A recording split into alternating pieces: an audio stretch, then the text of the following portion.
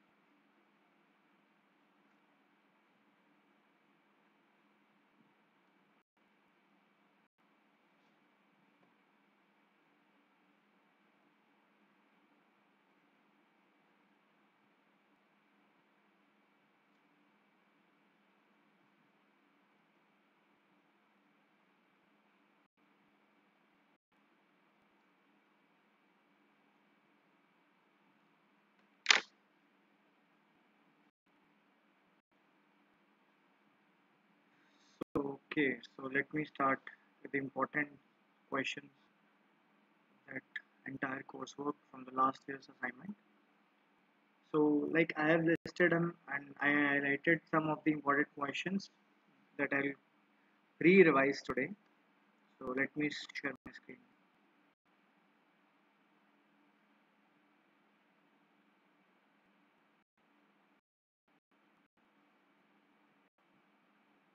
So in week one, question number three. Hmm. So here, uh, there's one question stating that uh, to check the packaged milk quality of a particular brand, you put a drop of milk diluted with sterile water in, onto a glass slide and stain it. So it is then placed under a microscope at 40x magnification, picture given below. So what could be the best possible prediction for the microorganism mounted on this slide based on its morphology? So here uh, there are some four possible given options here. So the first one is it could be a budding yeast and gram-negative bacteria, gram-positive bacteria, preferably bacillus. The option is the mixture of gram-negative diplococci and gram-positive proteobacteria and uh, a mixture of gram-positive cocci and gram-negative bacteria. So before proceeding further, I'll just uh, clear what the cocci, what monococcus, diplococcus, streptococcus, bacilli, spirilla, what they are. So the first one is cocci. Bacterial, there are some different bacterial shapes. So the first one is cocci. So so these types of bacteria are unicellular spherical or elliptical shape. Either they may remain as a single cell or may aggregate together for various configurations. So examples of these uh, cocci are monococcus, diplococcus, streptococcus, tetracoccus, staphylococcus. So you have heard the word staphylococcus a lot of time. Like example, staph S. aureus, staphylococcus aureus. So this uh, in staphylococcus cells divided into three planes forming a structure like bunches or grapes giving an irregular configurations. While in bacilli, so there are uh, bacilli are uh, rod shaped or cylindrical bacteria which either remain singly or in pairs. Example is uh, Bacillus cereus and uh, another types are spirilla. Spirals, uh, these types of bacteria spiral or spring-like with multiple curvature and terminal flagella. Example one example is there uh, called uh, Spirillum voltunens. Voltens. Okay. So the next uh, concept in the same is the difference between the gram positive and gram negative bacteria. Am, am I audible now? Okay. So the difference between the gram positive and gram negative bacteria. So the D, uh, the sorry, the key distinction between the gram-positive and gram-negative bacteria lies in the composition of their cell walls, a fundamental characteristics identified through through their uh, gram staining techniques like gram-positive bacteria possesses a thick peptidoglycan layer as you can see in this picture in their cell walls so which retains the crystal violet stain during the gram staining process. So rendering them purple under a microscope so in contrast, gram-negative bacteria have a thinner peptidoglycan layer sandwiched between an outer membrane and an inner membrane, preventing the crystal violet stain from retaining and causing them to appear pink.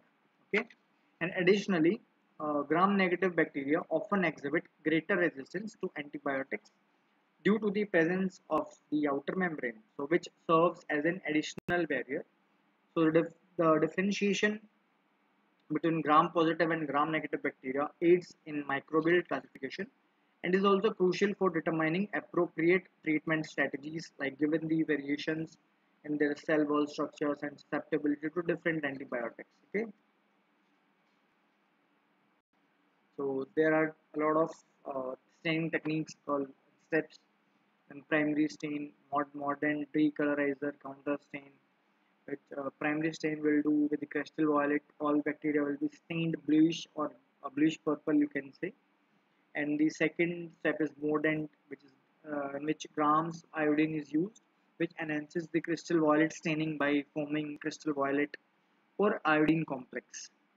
So the next one is the decolorizer where alcohol or acetone washes which uh, washes away the primary stain from gram-negative bacteria. And the last one is counter stain by safranin or carbol fuchsin you can say. And which counter stain stains the colorless gram-negative bacteria. So here we primary stain for 1 minute then wash with water followed by the Lugol uh, iodine for 1 minute then wash with water then directly wash with alcohol or acetone. So counter stain uh, the last step is counter stain for 30 to 60 seconds then wash with water. So here as you can see in the first picture so it is a uh, gram positive giving purple gram negative giving purple. And then second step also gram positive both are same like purple purple and both gram negative and positive. But in the figure third step gram positive is colorless and gram negative sorry gram positive is purple and gram negative is colorless. And in the fourth step it got uh, gram positive got purple one and gram negative got red one. And here is one picture as you can see the difference between the gram negative and gram uh, uh, negative bacteria and positive bacteria staining. So here gram positive appear violet or purple in color and gram negative bacteria appear pink or red in color. Okay. So this is all for the gram negative things so uh, bacterial staining things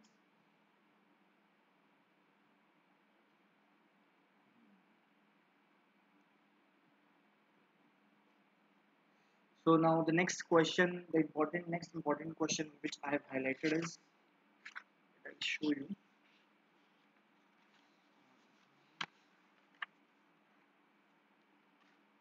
uh, question 9 in the first week's assignment.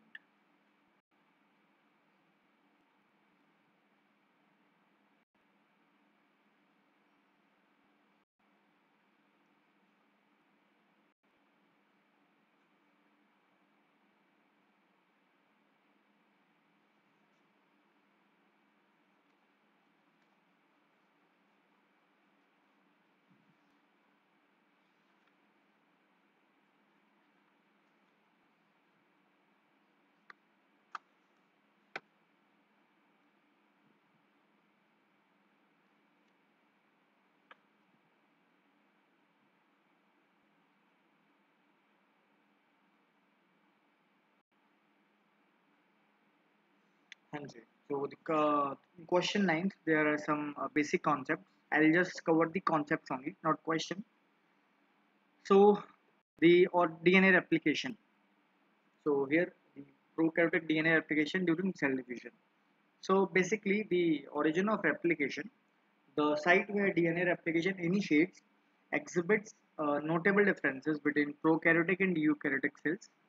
So in prokaryotes such as bacteria, as the circular DNA molecule typically has a single origin of replication. So we can say we can mark that origin of replication as oriC. Okay. So the initiation of DNA replication in prokaryotes involves the binding of initiator proteins to the origin of replication region. So uh, leading to the unwinding of the DNA helix and the recruitment of DNA polymerase for the synthesis of new strands. So as you can see here the parent cell DNA was there with having original origin of replication. Then it has uh, started with the initiator and the next step it got replicated by using the uh, then called polymerases and we have replication fork here and helicase also. Then uh, followed by the end of replication which further concluded in the daughter cell DNA and we have two daughter cell DNA after the uh, end of replication. So in prokaryotes such as bacteria, replication begins at specific site on the circular DNA molecule. Okay, so uh, the initiation initiator proteins including the uh, a series of regulatory events including the assembly of pre-replication complexes and the activation of DNA helicases.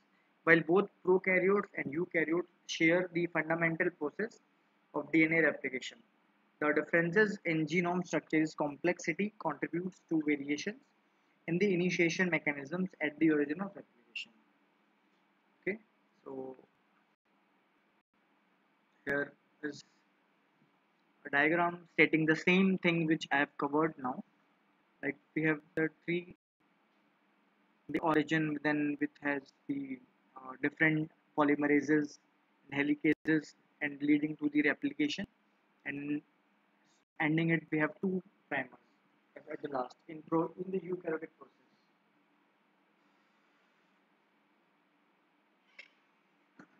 So in uh, this is a eukaryotic one i'll cover uh, the entire in brief. So in eukaryotes uh, replication is much more complex and occurs in a highly regulated manner. So the dna in eukaryotic cells is uh, linear and is packaged into chromatin. There's one thing called chromatin which used to package the dna in eukaryotic cells okay so which must be unbound and replicated in a coordinated fashion so replication begins at multiple origins of replication throughout the genome, which are recognized by a complex of proteins called the origin recognition complex. In prokaryotes, it was origin of replication, and in eukaryotes, it's origin uh, recognition complex called ORC. So the helicase enzymes unwind the DNA at each origin, and replication proceeds bidirectionally from each origin, as you can see in the diagram, forming replication bubbles. So DNA synthesis on the leading strand is continuous while the lagging strand is synthesized in short Okazaki fragments. Okay, so here the RNA primers are removed and the fragments are joined by DNA ligase. So the result in two is uh, sorry the result is two identical linear DNA molecules, each of which is packaged into a chromosome and passed on to daughter cells during cell division. Okay, so this is all for the replication thing for the both prokaryotic and eukaryote. So another question which I have uh, marked important as per the basic concept as in uh, week uh, 3 question number 1 week 3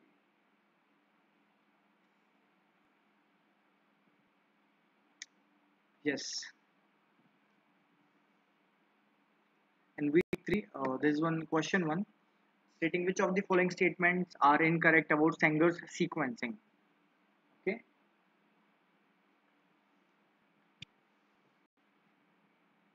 So we have four possible given options here. So DDNTPS terminates growing DNA strand because it lacks 3OH group.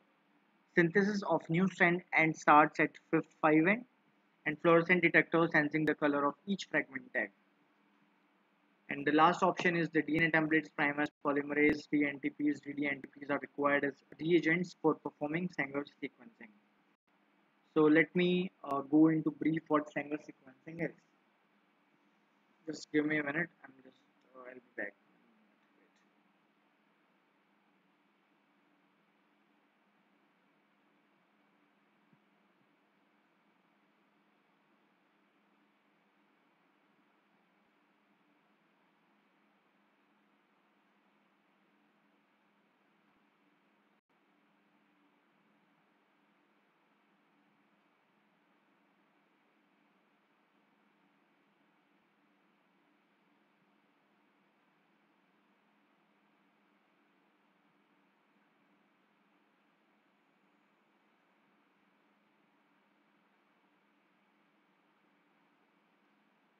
Hanji. So this is the Sanger sequencing.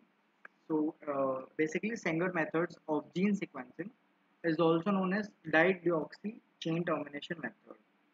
So it generates nested set of labeled fragments from a template strand of DNA to be sequenced by replicating that template strand and interrupting the replication processes at one of the four bases. So four different reaction mixture are produced that terminates in A, T, G and C respectively.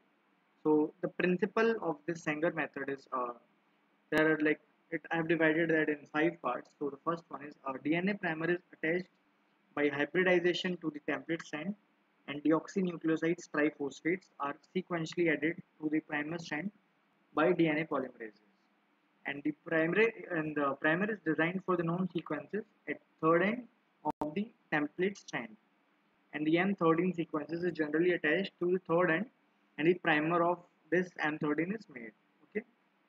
So as you can see in the diagram, sequences can be read from bands on auto radiograph and original template sequences reduced. So the longest fragment ends with the dideoxy G and uh, normal G must be at the last base in the sequence. okay so this is an important uh, question and important uh, concept for the bioengineering things so keep this in mind and the next important question uh, for the same in the same week is the question number two.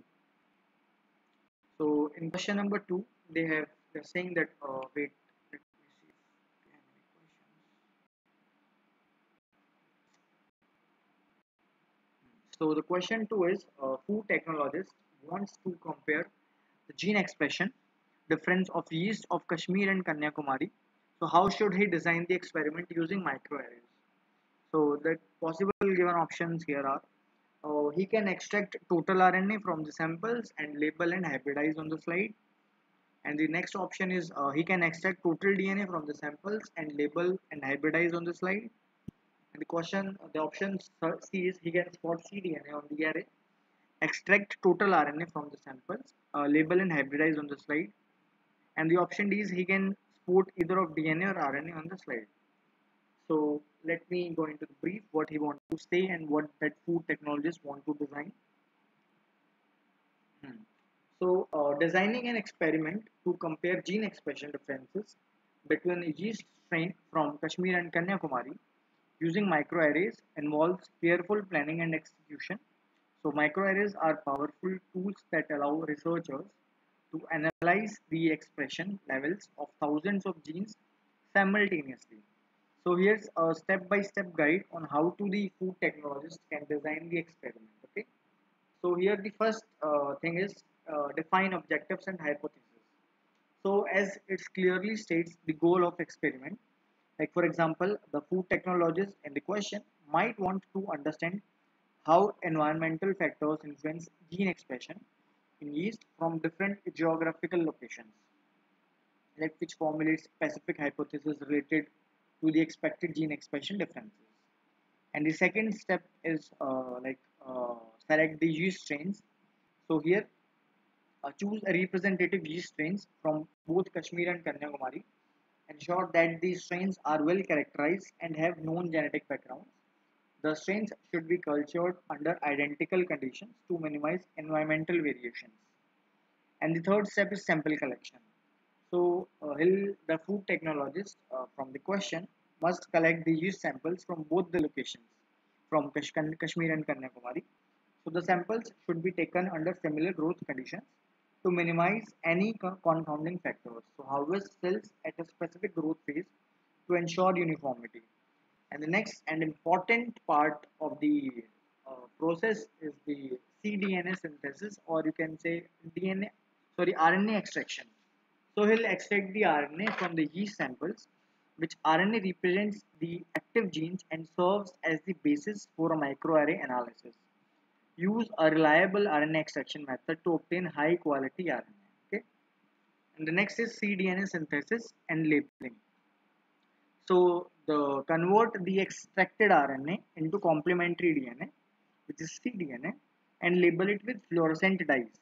So typically different type different dyes are used for two samples being compared. So this labeling allows for the discrimination of gene expression levels between the two samples. And the next is the next step is microarray hybridization. So in this step, hybridize the labeled complementary DNA samples to a microarray slide containing probes for thousands of yeast genes. The microarray should include probes for both known and unknown genes. So this step allows for the simultaneous measurement of gene expression levels across the entire genome okay? The next is the image acquisition data analysis validation and interpretation and conclusion. So i'll uh, go to the last step directly now interpretation and conclusion. So here we will interpret the uh, will interpret the results in the context of the experiment's objective okay?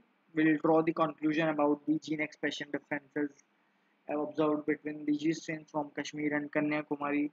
So discuss the implications of these findings and potential applications in the field of food technology. Okay. And the next question of important question for the same week is question number four. So students keep remembering the things which I'm covering right now, the basic concepts and topics will help you further. Okay. So next question for the basic concepts is the question number four. So here, which of the following enzymes is used to synthesize a complementary DNA library, but not to synthesize a genomic library? So the given options here are uh, restriction enzymes, DNA ligase, uh, reverse transcriptase, DNA polymerase. So here I'll teach you, or I will tell you what cDNA is and how the cDNA cDNA library is formed. Okay, just wait a minute.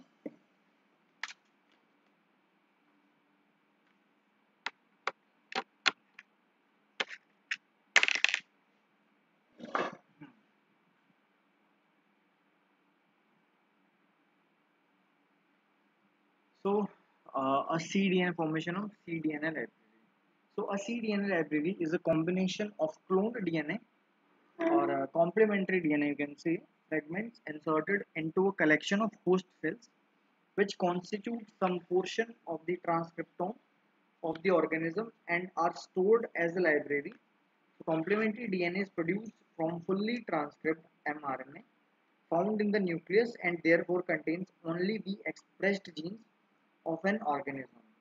So similarly, tissue-specific cDNA libraries can be produced. So in eukaryotic cells, the mature mRNA is already spliced. Hence, the cDNA produced lacks introns and can be readily expressed in the bacterial cells.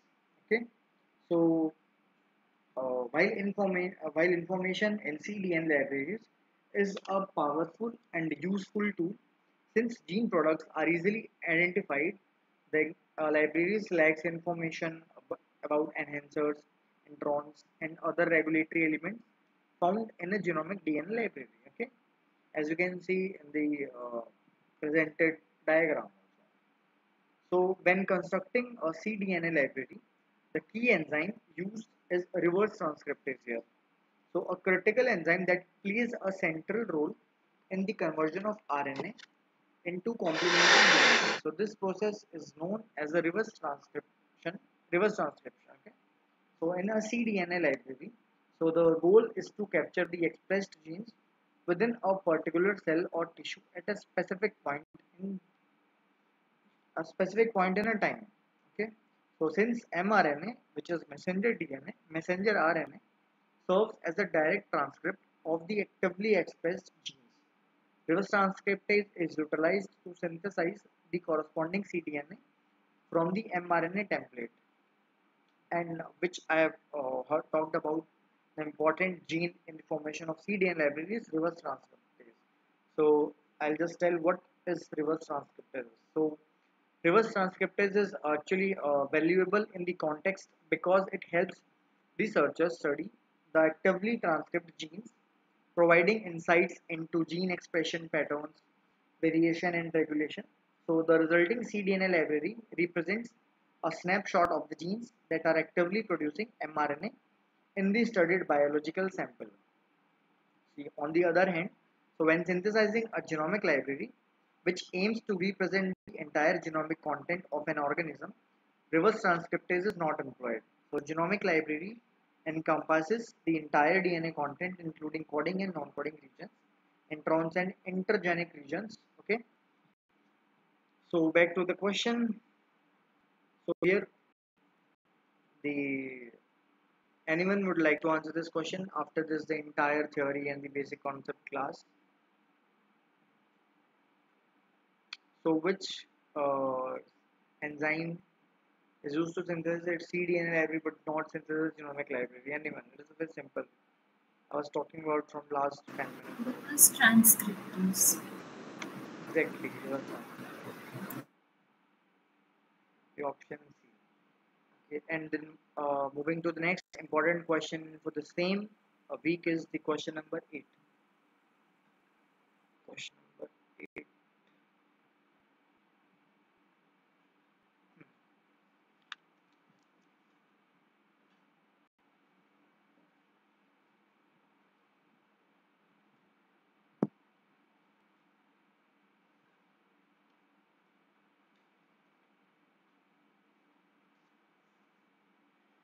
So here in question number 8, uh, Rohan has purified recombinant protein. So he wants to check its molecular weight. So which of the following methods he could use to check the uh, molecular weight? So the options given here are uh, SDS page electrophoresis, mass spectrometry, analytical size exclusion chromatography, or all of the above mentioned techniques can be used. So according to the question here, so Rohan is having a purified recombinant protein which he can employ various methods to determine its molecular weight. So accurately by the way. So, so one widely used technique is SDS page. So I'll cover all the methods one by one, SDS page, mass, and analytical size, everything. So the first thing is SDS page electrophoresis. So here in SDS page, so the protein is denatured and coated with uh, uh, sorry uh, SDS page. Let me uh, explain what SDS page is. The full form of SDS page. So the full form is of SDS is uh, sodium dodecyl sulfate polyacrylamide gel electrophoresis. So here in uh, sodium dodecyl sulfate polyacrylamide gel electrophoresis with SDS, uh, it is a detergent that imparts a uniform negative charge to the protein molecules, which effectively eliminating the influence of protein shape and allowing for size based separation during electrophoresis, as you can see in this diagram. So here the separated proteins can then be visualized using staining methods and their molecular weights estimated by comparing their migration distances to that of a non-molecular marker, molecular weight marker. So additionally, uh, gel filtration chromatography, also known as a size exclusion chromatography, this method was given in the option. I'm covering that also. Uh, that this is the size exclusion chromatography here. This can be included also. Uh, this can be employed also, but this technique separates proteins based on their size as they pass through a gel matrix with larger proteins eluting earlier than smaller ones. The elution profile can be then used to estimate the molecular weight of the purified protein. And the next given option here is mass spectrometry or we can say MALDI. So this method involves ionizing the protein molecules and measuring their mass to charge ratio, providing highly accurate information on the molecular weight. So MALDI, there's one thing MALDI, M-A-L-D-I. So this is a matrix assisted laser desorption or ionization technique or you can uh, the layman is uh, electrospray ionization are common techniques used in the mass spectrometry for protein analysis. Okay? So i'll cover this the sds one first. So now anyone would like to answer this question? I've told the everything so here the right answer for the question it is the all the above mentioned techniques can be used. As I've told that all the uh, mentioned methods can be used to check the molecular weight of whatever the Rohan has purified. Whatever the, Rohan has uh, purified a recombinant protein okay? So the next important question according to me from the next week week 4 question number 10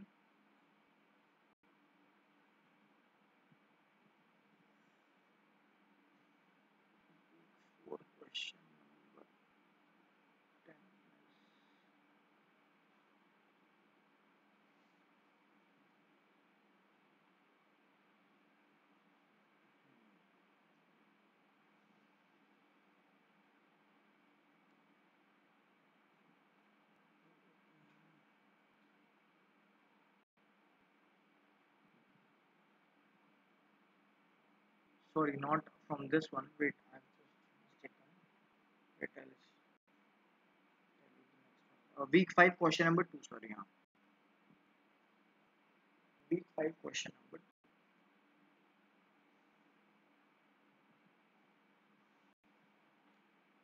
week 5 question number 2 like suppose you are screening for an antibiotic which works by inhibiting peptidoglycan of a cell wall. So you take two bacterial strains. Also this question, same question and the basic concept I have covered earlier also in the weeks one. I will cover once again.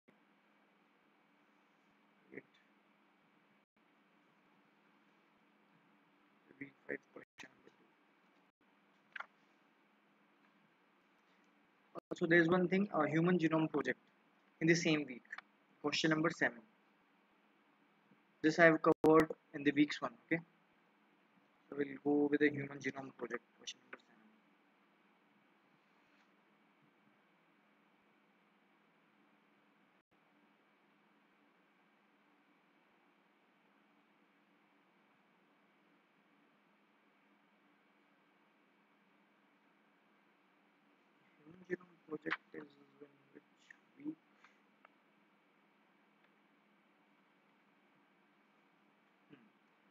So this question number seven.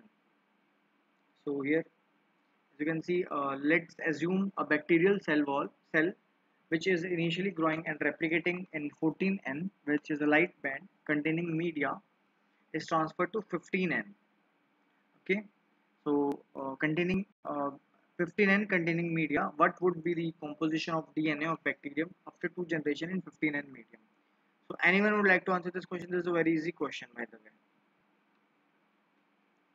Not, then I'll proceed further with the explanation.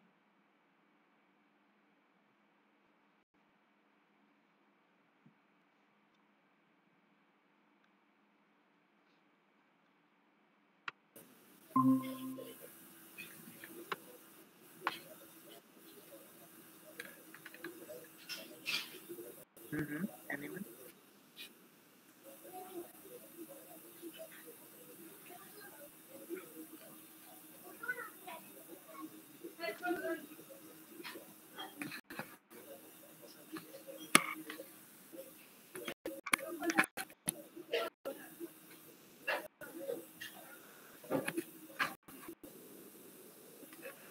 Krishna, your uh, mic is on unmute.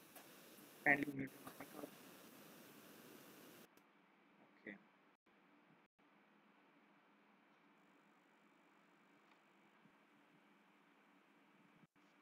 Actually, I have mixed some of the questions from the important one.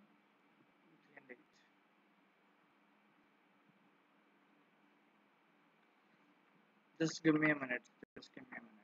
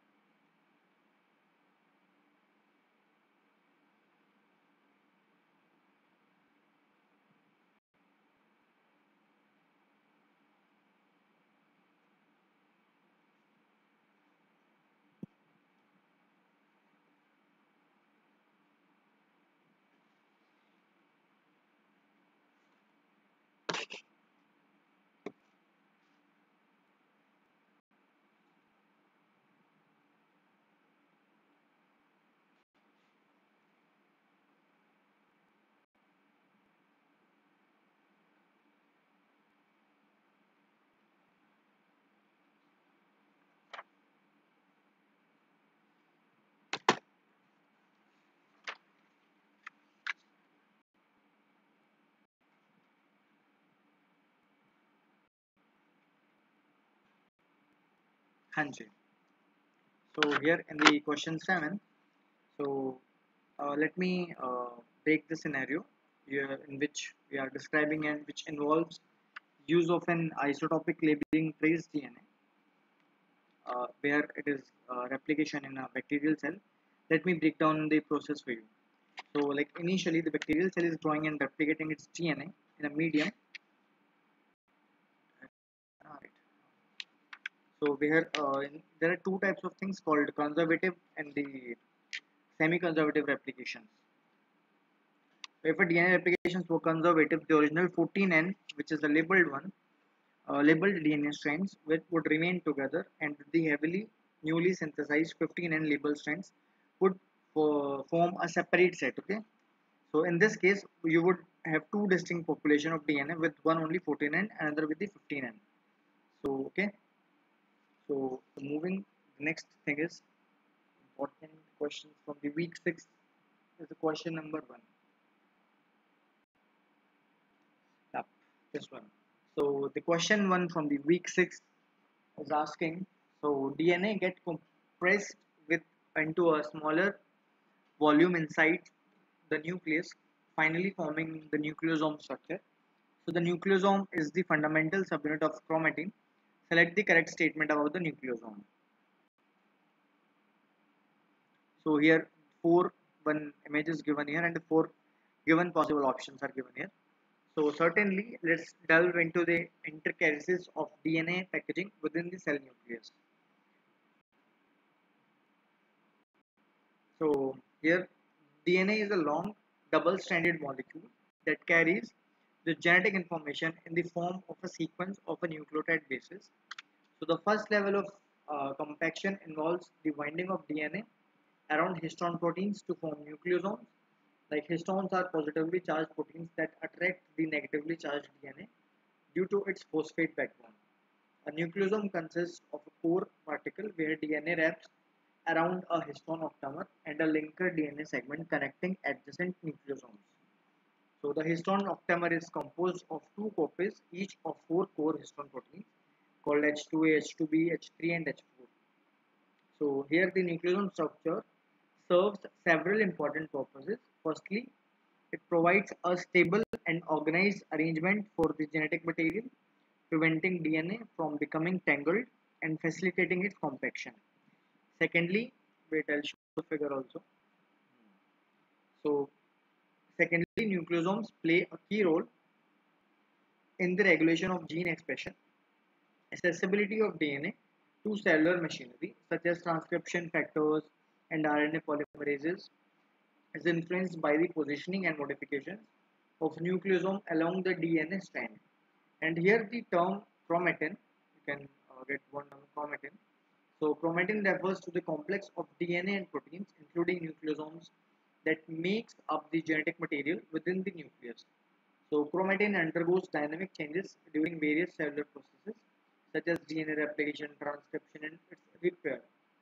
The nucleosome serves as a fundamental subunit of chromatin and its structure and organization are crucial for the proper functioning of the cell. So in summary of the entire nucleosome model chromosome, so the compaction of DNA into nucleosomes is a fundamental process that allows the efficient storage and regulation of genetic information within the confines of the cell nucleus and the nucleosome structure with its histone DNA complex is a cornerstone of chromatin organization and contributes to the intricate control of the cellular activities. Okay.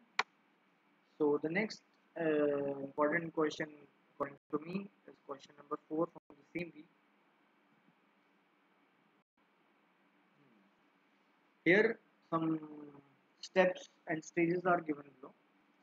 So let me read the question for you. So here the graphics below depicts the sequences of events that occur throughout the development of an embryo. Select the appropriate answer for 1, 2, 3 and 4 from the below mentioned options. So here the random given options here are fertilization, blastula, gastrulation and organogenesis so we'll cover the entire thing. This is the most important uh, question for this week. That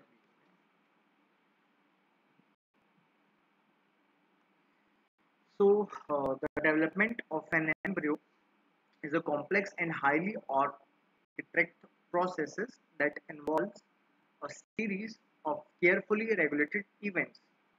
So here is a broad overview of the key stages and events that occur during embryonic development.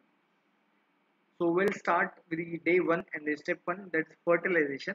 So the process begins with the fusion of a sperm cell and a egg cell that is oocyte during fertilization. So this forms a zygote, the first cell to the new organism with a complete set of chromosomes. The second one is cleavage. So the zygote undergoes a series of rapid cell divisions through a process called cleavage. So the cleavage divisions result in the formation of a blastula, a hollow ball of cells. And the next is gastrulation. So the blastula undergoes gastrulation, a critical process that establishes the prime the three primary germ layers called ectoderm, mesoderm, and endoderm. So gastrula is formed which has distinct layers of cells with specific developmental potentials. And organogenesis is during organogenesis, the germ layers give rise to specific organs and tissues. So various signaling molecules and genetic programs guide the differentiation of cells into specialized cell types. And the next is somite formation. So in somite formation, the mesodermal layer somites are formed. So which gives rise to structures such as muscles, bones, and the vertebral column. And the next step is uh, the placenta development or placental development. In mammals, so the placenta develops facilitating nutrient and gas exchange between the embryo and the mother. So the placenta also produces hormones crucial for maintaining pregnancy. So the next is the fetal development. So the embryo now referred to as a fetus undergoes further growth and maturation. So organs continue to develop and differentiate the structures such as limbs, features and internal organs become more defined. And the next and the last step is parturition that is called birth. So the process culminates in parturition or birth where the fully developed fetus is expelled from the mother's uterus and takes its first breath. So in some species, so additionally stages such as the transition from aquatic to terrestrial life in amphibians or hatching of eggs in birds occur. Okay. So throughout these all stages, so the development of an embryo is uh, regulated by genetic programs, signaling pathways, and some of the environmental factors. So any disruption is the the so any disruption in the highly or tightly controlled process can lead to developmental abnormalities. So the study of embryonic development is fundamental to understanding the principles of biology and has significant implication for fields such as medicine and genetics. Okay. So moving to the next uh, question.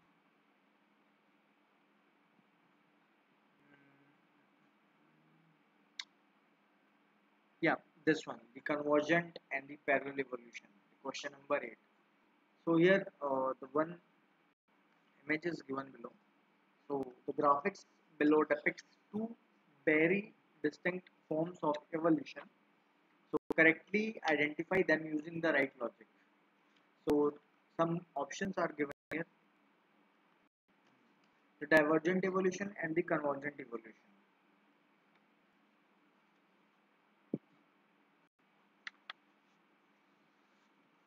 So uh, as you can see, the divergent evolution and convergent evolution, one uh, difference between both the evolutions are given below. So in divergent uh, evolution, divergent evolution is the process by which the related species become less similar in order to survive and adapt in different environmental conditions, whereas in convergent, the process by which unrelated species become more similar in order to survive and adapt in similar environmental conditions. And in divergent, so the same structure evolves in different directions as you can see in the diagram also. Uh, involves in different directions in different organisms. While meanwhile in convergent, different structures evolve in the same direction in different organisms. Examples for the divergent is forelimbs of whales, bats, cheetah, and humans perform different functions. And the perfect example for convergent evolution is wings of butterfly and of birds and potato and sweet potato as you can see. Okay? So moving to the next some of the important concept in week 8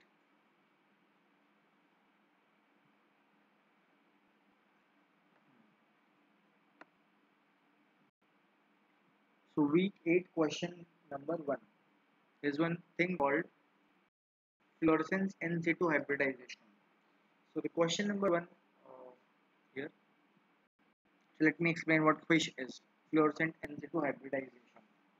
So basically this FISH uh, is a technique used to detect and localize the presence or absence of specific DNA sequences on chromosomes. In the context of cervical cancer, FISH can be utilized to detect genetic abnormalities such as amplifications or deletions of specific genes associated with the development of cervical cancer.